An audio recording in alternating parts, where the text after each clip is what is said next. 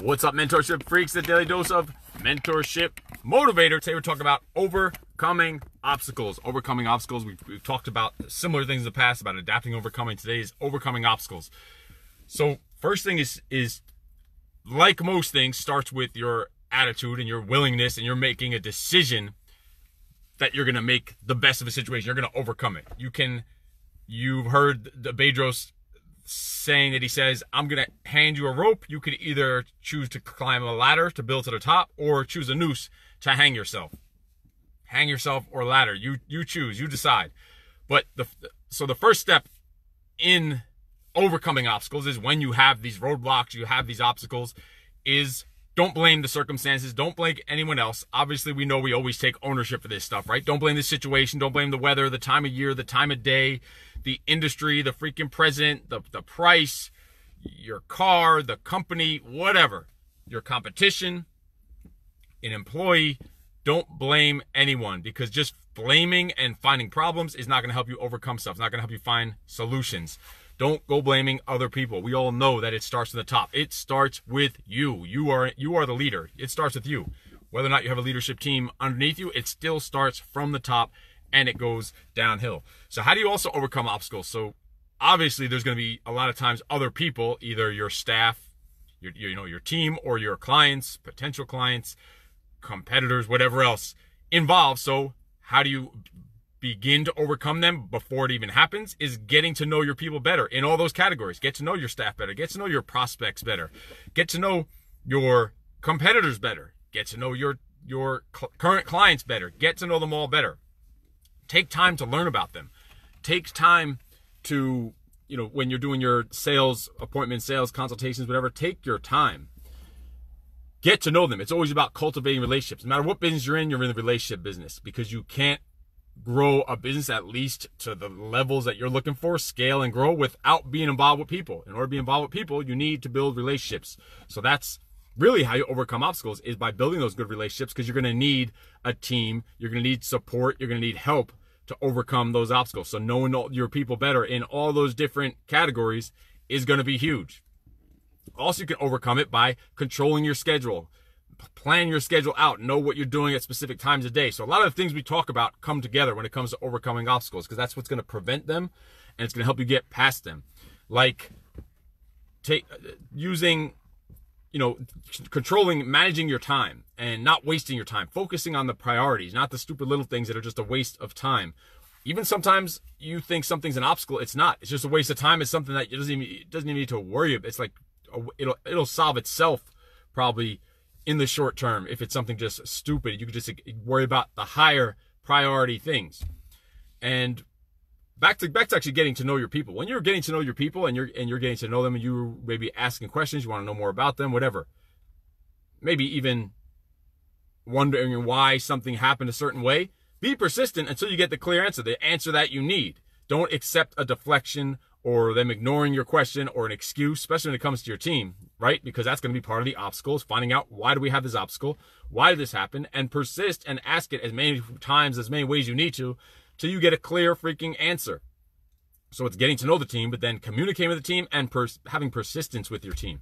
You know, not in, a no- in an, an annoying way, obviously, also, to overcome obstacles is focusing on your skills. Focus on your working on your skills, making yourself better every single day. Obviously, reading and studying and learning and listening, and those are on the different topics that you know that all right, you're at this level. You know you're gonna to get to the level you want to be. You only have the skills for the certain level. So, in order to overcome those obstacles, you're gonna have to learn new skills and improve on the skills you have, improve on some of your weaknesses, and don't and, and don't just focus on the obstacle itself. If you just stare at the obstacle, guess what? The motherfucker's gonna stay right there.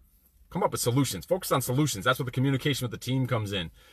Anyone that comes to you with a problem, we know they better have two solutions with that problem, right? Be solution oriented. Spend 95% of the time on the solution, not the freaking problem, not just talking about the problem and just being negative and just drilling it and digging yourself deeper in a hole physically, mentally, financially, of course, when you're overcoming an obstacle, think before you're talking, right? This comes emotional intelligence comes into play. Sometimes just a few seconds, sometimes count to 10. Sometimes that shit'll work wonders. Just pausing for a few seconds. Shit, sometimes cool down, wait a day or two if you have to on certain things to figure certain things out that that don't need immediate attention or that you need a little more information on.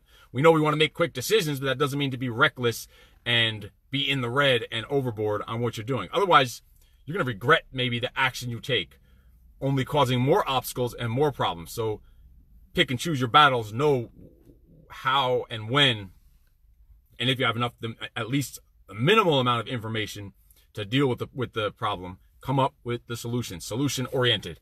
Because the choice has been and always will be yours. Like every obstacle, you make a choice. Is this going to be a problem? Is this going to bury us? Is this going to end us? Is this going to cripple us financially? Or am I going to figure out how to make this an opportunity? An opportunity to be a great leader, opportunity to be a great person, because if you focus too much on the problems and the obstacles rather than the solutions and the opportunities, you're just digging yourself in a hole and you're going backwards. You're going nowhere every single obstacle in your way is an opportunity for you to learn, for you to grow, for you to be a better leader, for you to sharpen your sword, to, to, toughen up your entrepreneurial armor. So think of every obstacle, every problem, not just as a solution, but yes, we want to think we want to think of it as a solution. Now think of it as this is going to be part of your operations manual because you're going to learn how to deal with different situations. So monitor stuff, track it, document it, use it for future reference, for future training, and find the, uh, I guarantee there's always an opportunity in every failure, every roadblock, every obstacle you come in. So how do you adapt and over, how do you overcome these obstacles? By figuring out with an open mind, focusing on the solutions, but also focusing on what opportunities can I extract from this? What, what can I, how can I exploit this, this obstacle and turn it into a plus by just and again it goes all full circle back into your head with the decision you make how how positive you are in every situation and not just bearing oh this and this and this and this happened. No no no. It should be this and this and this and this is what we're about to do. And oh look if when i really think about it i bet we could do this this and this and some outside the box thinking of exploiting opportunities that are there that you wouldn't see if you were only focusing on the problems and the obstacle. Focus on the solutions and ways out of that, things you could do, possibly do, and that's just going to start flowing your creativity and sparking it.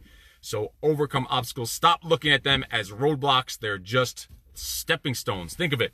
You have a bag of cement and a bucket of water. You can either make a block that just sits in front of you and you just walk into it and bang into it, or you can make a step or a staircase and use that obstacle as a stepping stone to learn, improve, and maybe even make some more money. There's there's there's hidden money in every obstacle. There's hidden money in every problem if you really get creative enough and think enough.